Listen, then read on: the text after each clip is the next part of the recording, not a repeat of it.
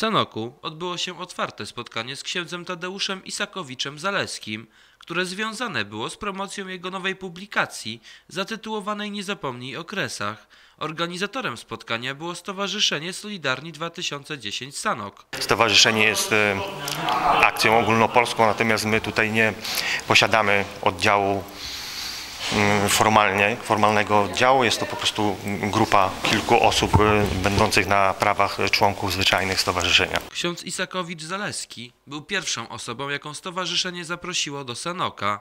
Wybór Zaleskiego w następujący sposób uzasadniał członek stowarzyszenia, a zarazem radny powiatowy Piotr Uruski. Rodził się w wyniku dyskusji, które odbywaliśmy pomiędzy sobą, dyskusji w- w różnych środowiskach. Chcemy zapraszać różnych ludzi, którzy mają coś do powiedzenia, którzy mówią otwartym tekstem, ludzi, którzy są medialni, znani. No i w ten sposób chcemy po prostu prowadzić taką działalność edukacyjną. Ksiądz wydał nam się odpowiednią osobą do tego, żeby być zaproszonym i właśnie to spotkanie się tutaj odbyło.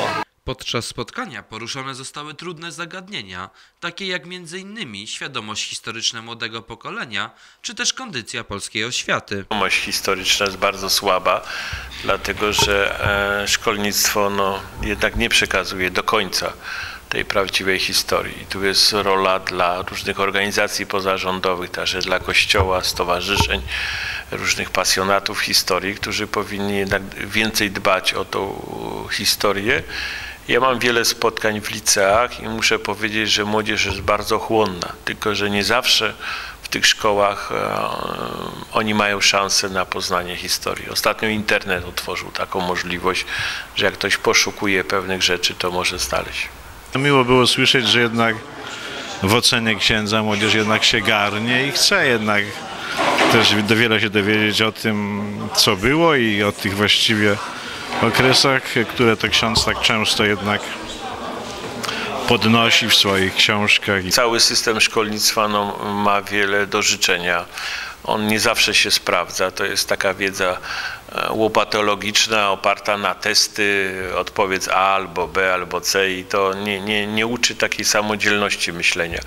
Natomiast też jest chyba też brak e, no, nauczycieli pasjonatów. Oczywiście jest ogromna grupa których, ludzi, którymi się też stykam, pasjonatów historii, ludzi, którzy w ogóle e, chcą młodzieży przekazać pewne wartości, niezależnie jaki przedmiot wykładają. Ale to jest pewna część. No jednak e, szkolnictwo no, nie cieszy się najlepszą opinią w Polsce. Jestem bardzo usatysfakcjonowany. Y, Ksiądz, ksiądz w formie jak zawsze, prawda? Ciekawe informacje, przede wszystkim bardzo duża frekwencja, także super. Nie zabrakło także dyskusji na temat obecnych relacji polsko-ukraińskich. Posługuję zdaniem jednego z historyków brytyjskich, który powiedział bardzo dosadnie, że jeszcze nikt nigdy w historii nie zbudował pojednania między narodami w oparciu o kłamstwo bądź przemilczenie. Po prostu się nie da tego zrobić. I rzeczywiście, żeby te relacje były dobre między Polakami, Niemcami, Polakami, Żydami, Polakami i zwłaszcza Ukraińcami, no one muszą być oparte o prawdę. Bruta- Brutalną, trudną prawdę. Ale trzeba powiedzieć wyraźnie, co się działo, czym było na przykład ludobójstwo Polaków dokonane przez UPA i wtedy dopiero można szukać dobrych relacji.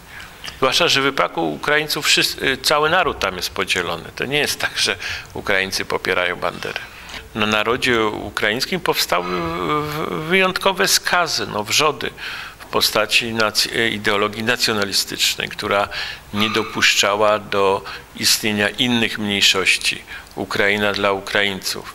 Później ideologia Dmytro Dącowa, który powiedział o twórczym terrorze, że można zabijać nawet Ukraińców, którzy nie popierają ideologii Stepana Bandery. I myślę, że w ogóle ideologia Bandery to jest problem dla samych Ukraińców, bo oni są niesłychanie w tym podzieleni i sami też byli ofiarami banderowców.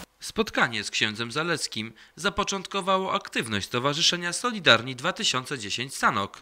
Myślimy o szerszej formule stowarzyszenia tutaj na potrzeby społeczeństwa lokalnego i w związku z tym, y, w związku z tym myślimy o takiej edukacji od podstaw.